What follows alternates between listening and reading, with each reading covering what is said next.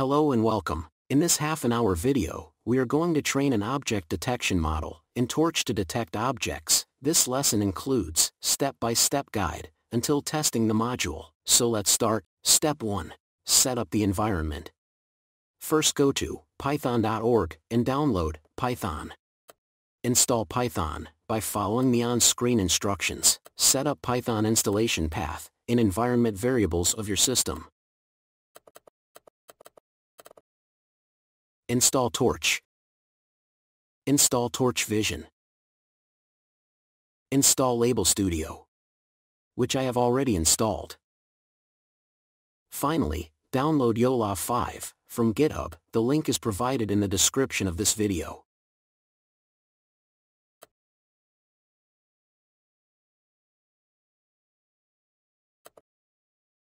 You can clone the repository by git clone command but I have already downloaded the zip file.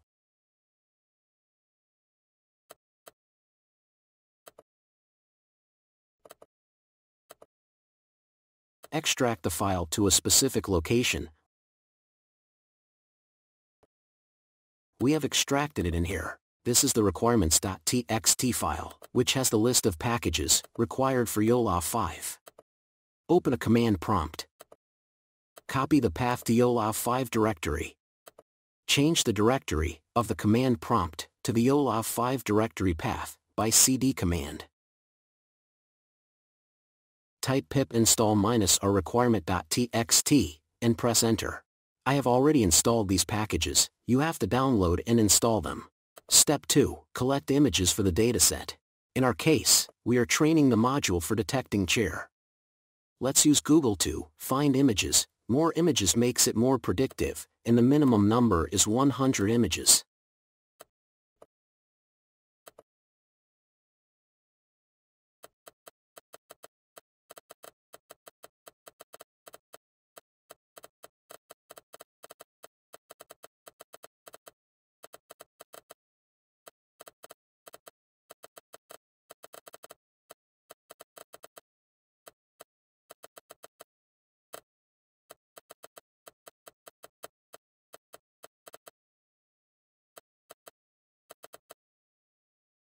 And now we have a small dataset, but you can expand the dataset and add more images.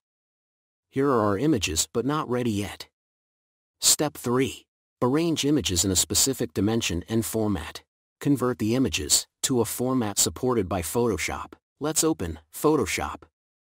I am using this lightweight, old version, CS6 Photoshop. The images we downloaded are in multiple formats, and Photoshop doesn't support them directly.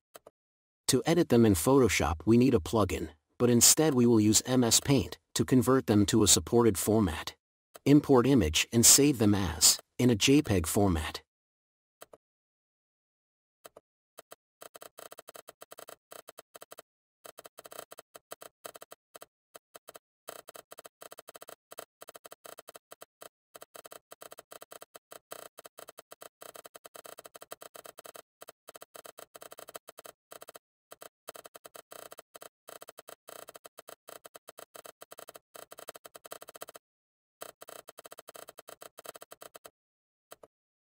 Once done close the MS Paint and proceed.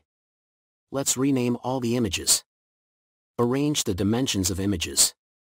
To arrange the size and dimensions of images, we need to crop and resize them. Let's import all image to Photoshop.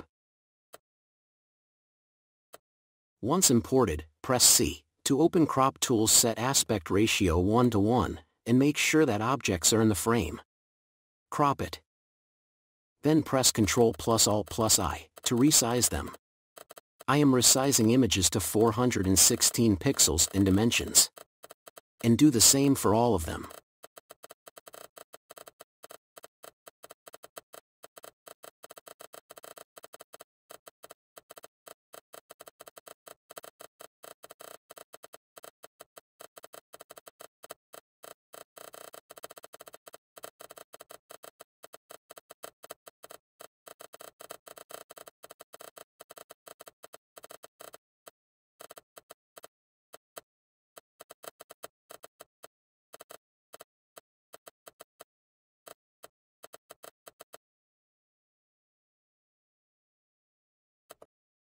Now our dataset is ready, but is half.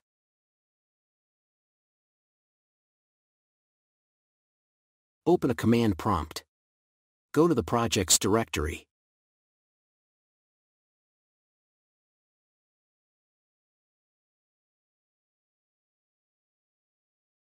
Create a directory named dataset.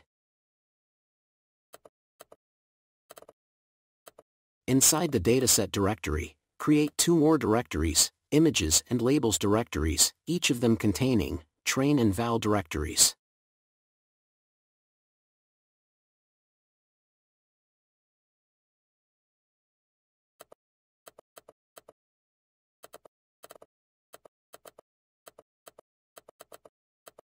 From the YOLOv5 Ultralytics GitHub Releases section,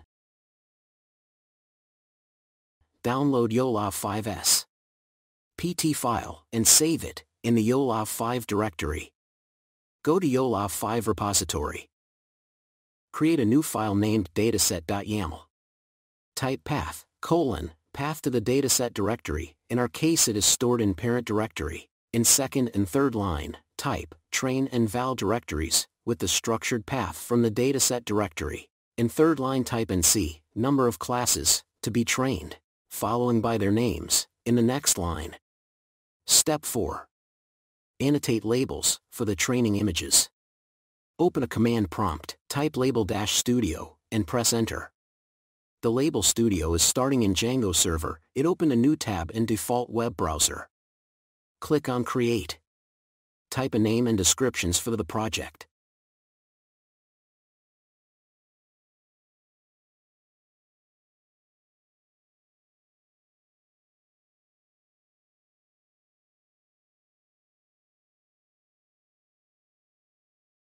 Click on Save. From the settings of the project, select Labeling Interface. Paste this code, provided in the description section of this video. For the chair class name, we have defined green color.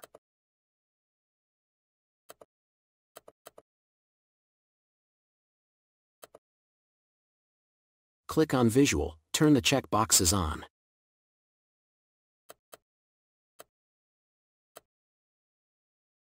Click on Save. Go back to Project. Click on Go to Import. Click on Upload Files. Select Images. Click on Open.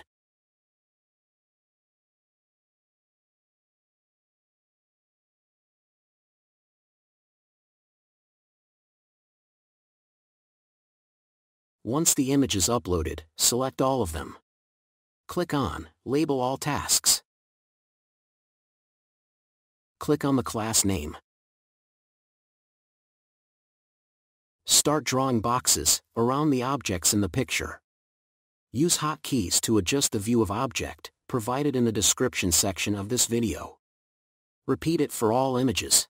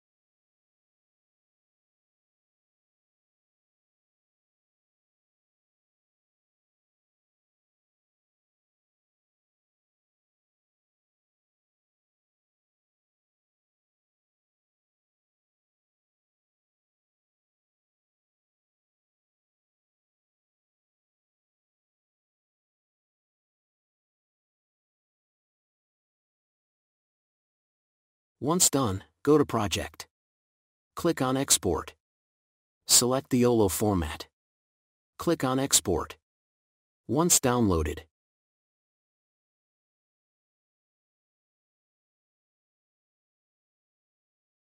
select the zip file, right-click on it, extract it to a folder.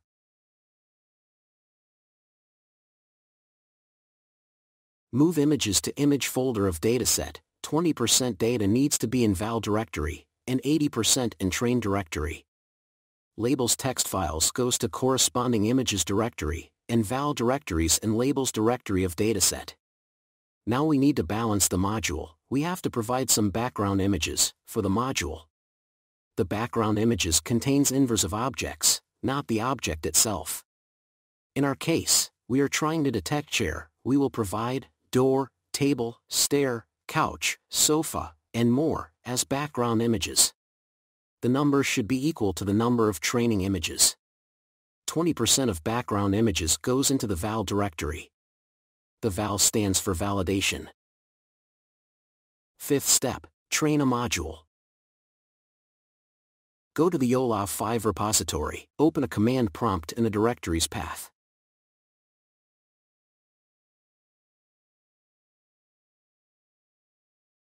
Type the command in the terminal, provided in the description section of this video. The train.py is a file in YOLO 5 directory, contains code for training the module. Dash dash image is used to specify the dimensions of image. Dash dash batch is used to specify the subset of the training data that is processed by the network at once during single iteration. Dash dash epochs is used for the number of times entire training dataset is moved forward and backward. The training process takes less time on GPU but much more on CPU. Wait until the training process is completed.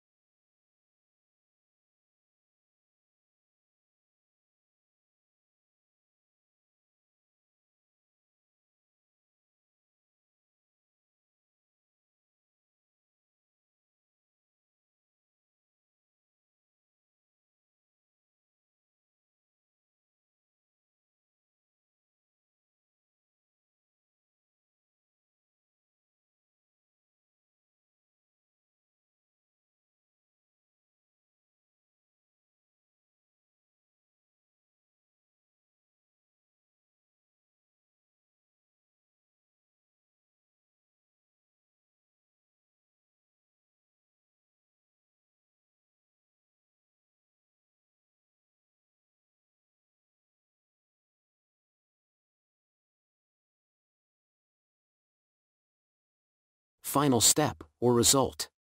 Testing detection and prediction.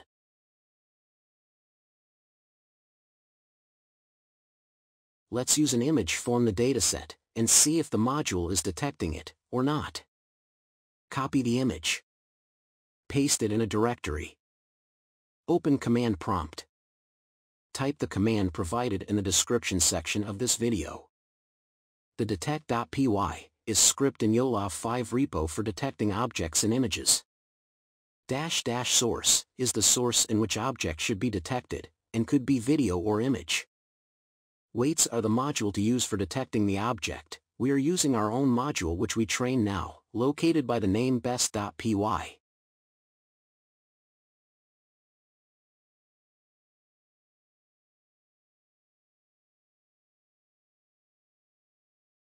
As we see it detected one chair, and the result is saved to this location.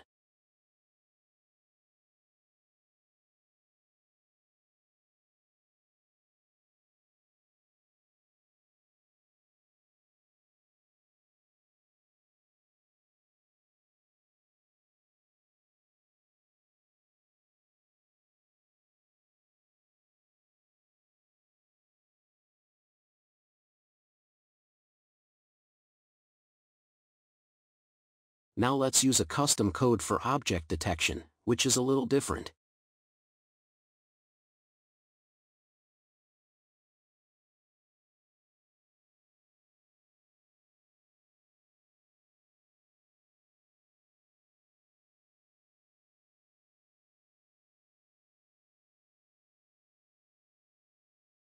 Run the code. This is the original image. This is the detected object.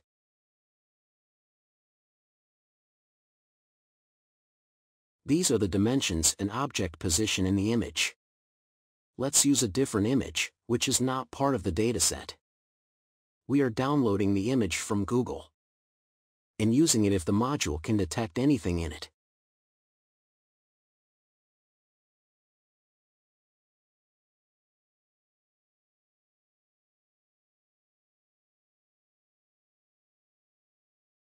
As we see it detects a chair in the image.